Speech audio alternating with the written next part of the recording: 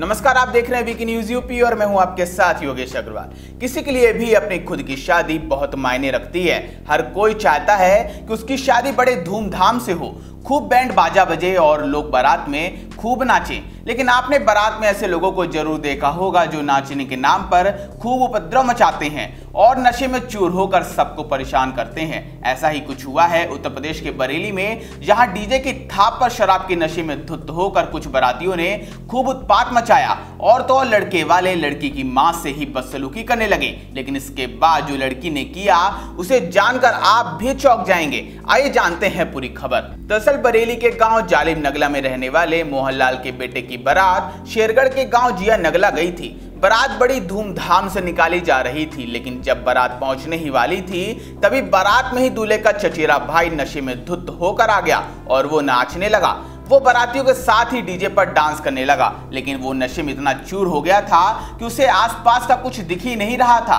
उसने मधोसी में ही बारात में नाच रहे बच्चों को धक्का दे दिया, जिसके कारण कई बच्चे गिर गए और उन्हें चोट लग गई।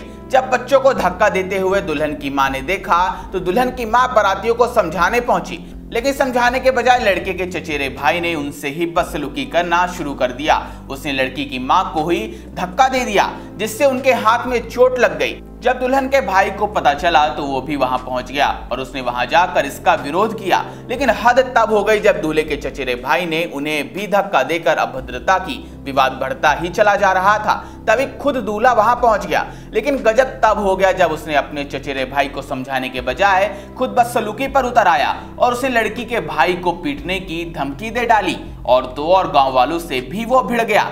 जब बाहर मचे घमासान की खबर लड़की को मिली तो उसका गुस्सा फूट पड़ा और लड़की ने सीधे शादी करने से इनकार कर दिया। और उसने कहा कि जो लोग शादी से पहले उसकी माँ और भाई से बदसलूकी करते हुए मारपीट कर सकते हैं, वे शादी के बाद उसका क्या करेंगे? वैसे आदमी से शादी नहीं करना चाहती, जो बड़ों की इज़्ज़त ही ना करना जानता हो। इसके बाद कुछ लोगों ने समझौता कराने का प्रयास किया, लेकिन बात नहीं बनी और शादी टूट गई।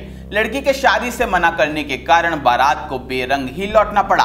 अगले दिन लड़की के पिता ने इस पूरी घटना की शिकायत शेरगढ़ थाने में दी और लड़की वालों के खिलाफ बदसलूकी के लिए केस दर्ज कराया। अब पुलिस मामले की जाँच कर रही है। इस खबर पर आपकी क्या राय है, हमें कमेंट बॉक्स में बताएँ और ये भी बताएँ कि अगर आप लड़की की जगह होते तो आप क्या करते। फ़िलहाल इस खबर में इतना ही। उत्तर प्रदेश की बड़ी खबरों से जुड़े रहने के लिए देखते रहिए वीके न्यूज़ यूपी।